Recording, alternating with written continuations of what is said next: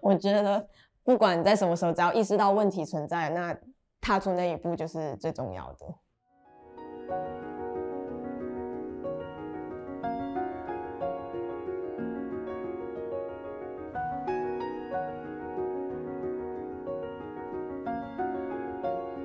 当初我想要来学习规划办公室，其实是因为前阵子我在研究所的学业上面，其实遇到蛮大的挫折，当时是蛮挣扎跟迷惘的。然后是在朋友的推荐之下，我才知道原来有学习规划这个服务。我觉得这个蛮有趣的，所以我想要去更多的了解，它可以怎么帮助我理清我在我学习上面的问题。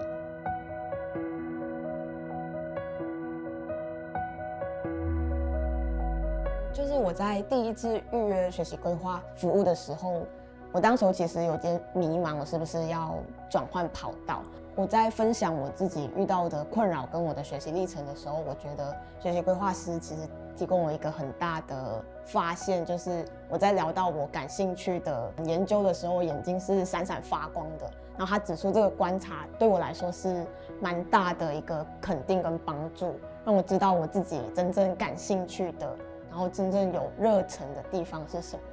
确定了我想要转换跑道之后呢，我就在预约了学习规划办公室的第二次会谈。那这次的会谈比较特别，是做这个同才咨询这个服务，有就是跟我感兴趣的领域背景相仿的同学，然后他会去提供我相关领域的一些，不管是学习环境也好，或者是学习的资源也好，我觉得那个过程其实。更帮助我理清我想要的是什么。同才的咨询，他也提供我很多在转换跑道，比如说准备真试上面的一些很实质的帮助，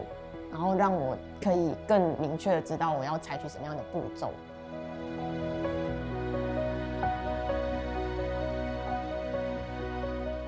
同才的咨询服务之后呢，我就去开始准备转换跑道的这些工作。提供同才服务的同学，他其实有。给了我很多在备考上面的帮助，不管是帮我分析出题的方向，或者是嗯提供一些学习的资源，我觉得对我来说都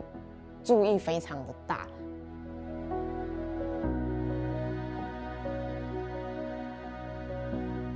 我在使用学习规划服务之后，不一样的地方比较是我更勇敢的可以跟别人分享自己的状况。之前可能都觉得需要自己一个人去解决，可是我会发现，原来其实去寻求帮助也不是一件坏事，而且是可以让你有更多新的发现跟视野。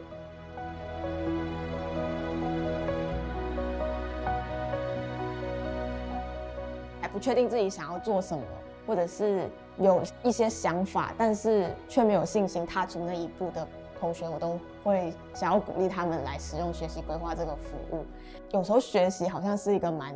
个人、蛮私密的事情，尤其是在一个感觉大家都很优秀的环境下面，你要去谈你在学习上面的困扰是很不容易的。我觉得学习规划就是可以提供一个嗯很自在，然后不用担心被评价或者是外在嗯眼光的一个空间。可以更不受任何干扰的去面对自己的问题。